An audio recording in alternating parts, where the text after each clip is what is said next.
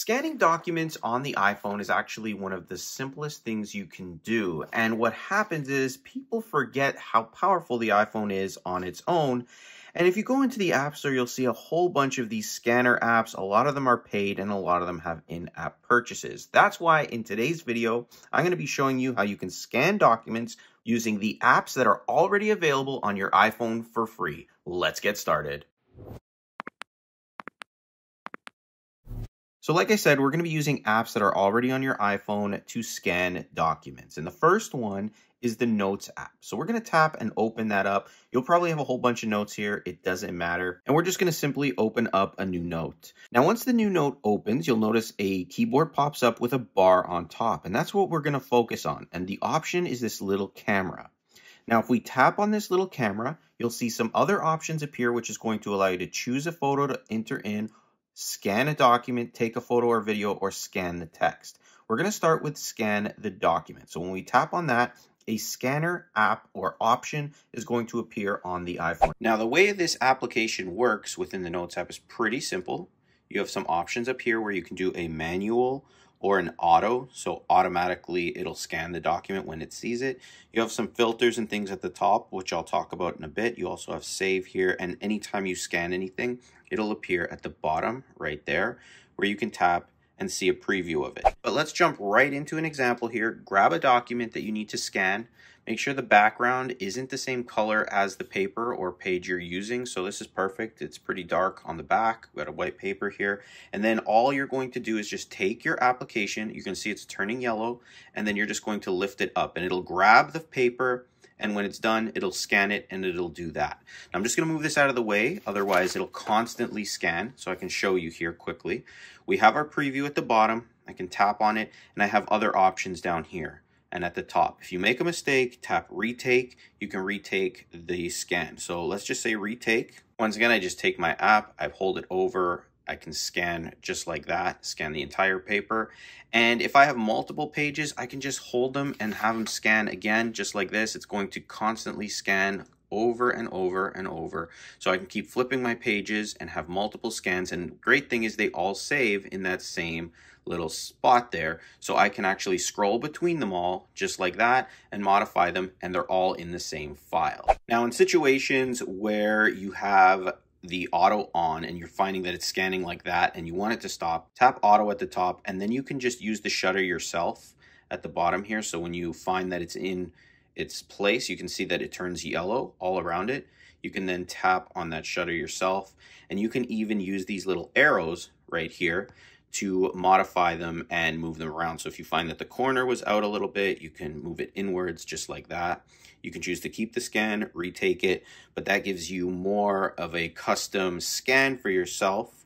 That way you don't have an issue. And if we choose to keep the scan, right there, it'll also move into all those scans that we just took and they're all in the same file. Now, some of the options at the top of the iPhone you have is a flash. So if you're in a darker scenario, you can tap on that. You can have it set to auto on or off. So if you turn it on, it'll automatically use that flash when you do scan. So for example, I'm gonna hit my scan, you can see it flashes. We also have filters at the top right there. So if we tap on that, we can choose between color, grayscale, black and white, photo, and you can kind of swipe and choose which one you want. So if you did have something with some color, I'll just kind of draw in some blue here and you do decide to change it over to say black and white or even grayscale, just like that. Now when you hold the camera over, take your photo here or your scan, it scans it. You're gonna see right here, it's now in blue, but when you save it, now it's in grayscale or black and white, whatever you choose. So if you do need to change a colored scan or colored document into black and white or grayscale, you can do that as well. So now all your scans are complete for that specific file, whatever you're doing. You can choose to save it here or preview it right here, resize things, flip them around. You can see there's some options down there to do that. You can change the filter as well there so you can color grayscale black and white photo as well after the fact. You can also crop it. So if you do need to make some adjustments, you can just make those adjustments right there, tap done and that's going to only work for each one. So each individual one you're going to have to modify separately. And if you need to flip them around, let's say you made a mistake on one of the papers, you can do that as well. You can delete individual ones like this one was a mistake. I can just delete that one right out, but keep all the rest in that folder or file there. And I can retake any of the ones that I don't like as well, just like that. And when you're done, just tap done up there and you can tap save.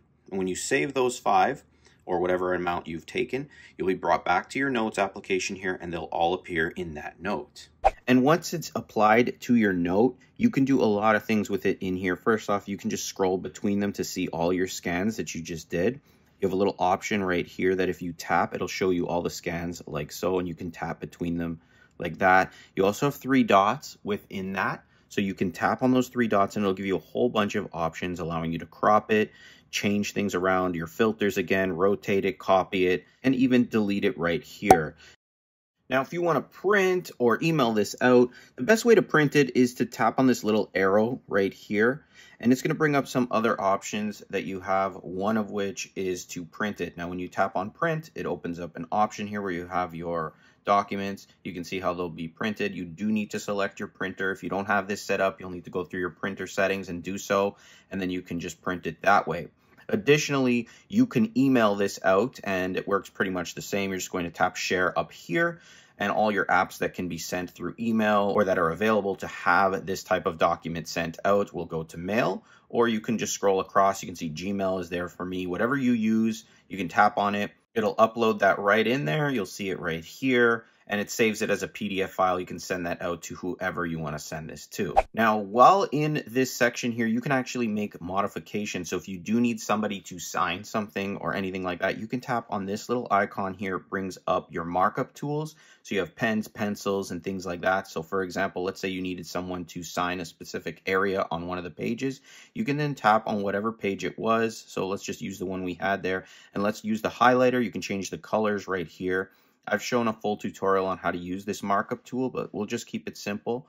And let's just say they needed to sign here. So we're just going to highlight right there. It's now going to be there on the scan when you send it out to them. This is optional. It's just extra features. You can also have your signature put right in here. If you tap on that plus, if you've added a signature to your iPhone, you can actually just pre-sign things this way and then send them back to other people. So you can scan documents that somebody has sent you or even download them and then even use them just like this sign your papers things like that. I've also shown videos on how to use signatures with your iphone. Just check my channel for those. But that's pretty much how you're going to scan documents and use them within the notes app. But like i said there's another way. And the other way might be more beneficial to you or useful for you and that's using the files application so we'll open up files and files will open up most likely in recent or browse wherever it opens up. It doesn't really matter. You can always tap around, but the main thing you're going to be using is this option up here. That way you can scan your document. And scanning documents is exactly the same. When you tap on it, it opens up your scanner app on the iPhone. You have all the same options that we used within the Notes app, so nothing new to learn there. The one thing you'll notice, though, when you do put your piece of paper down is the scanner is blue. The Files app is blue, so the scanner is going to be blue. Now I'm just going to tap on the shutter here just to keep things simple. I'm not going to be accurate with how I scan, but I do want to show you exactly how it's going to look and how it's going to work. So we have our scan. Again, you can retake it, all the same stuff, just like the Notes app. We'll keep it just so I can get to the next step here, and we're just going to save it down here. Now, the difference when you save things to the Files app is that it pops up like this.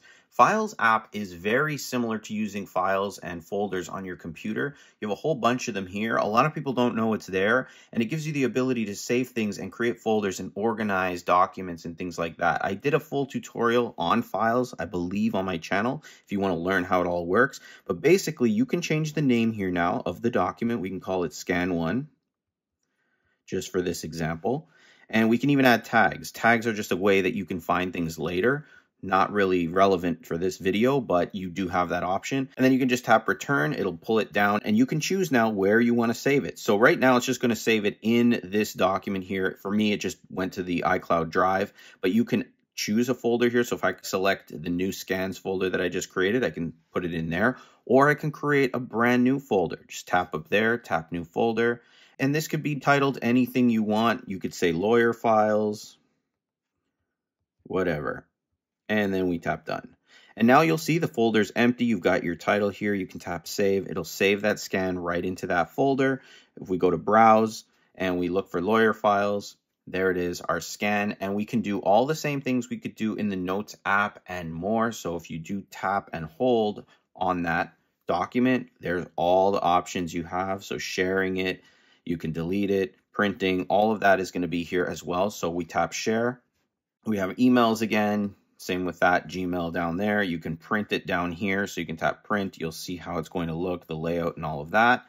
You also have the ability right here to tap and hold and compress it. So if it's too large, you can compress this down. It'll zip it down if you have multiple scans inside and it'll make it a little bit smaller. In this case, it just took off 0.1 megabytes, not much at all, but you can then send that out in a zipped format if that's what you need to do. And the great thing too is if you have a whole folder here, you can actually tap and hold on the folder and you can send this whole folder. So if you've been scanning things over a period of time, you can now share that right over. You can try to email it if it's not too big, send it through messages, airdrop it, whatever you want to do. But it gives you more options than the Notes application.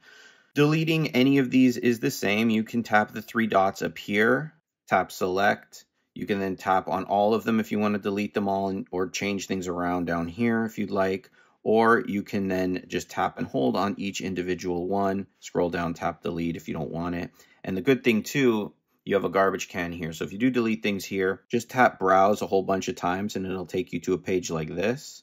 And if you tap on recently deleted, you'll be able to see your scan here that was recently deleted. So if you want to bring it back, you can. So that's pretty much how you scan documents, files, folders, photos, and things like that with your iPhone using the free applications that come with the phone and you don't have to pay or worry about in-app purchases. I hope you enjoyed this. If you're looking for more tips, tricks, and tutorial videos on the new iPhone 15s, 14s, 13s, 12s, and future iPhones, definitely check out the link in the description. There's hundreds of iPhone tutorials that are very beneficial for you to get the most out of your iPhone. If this video was helpful, hit that like button, subscribe to the channel, and click the bell notification box so you're notified when I post another video, and I'll see you in the next one.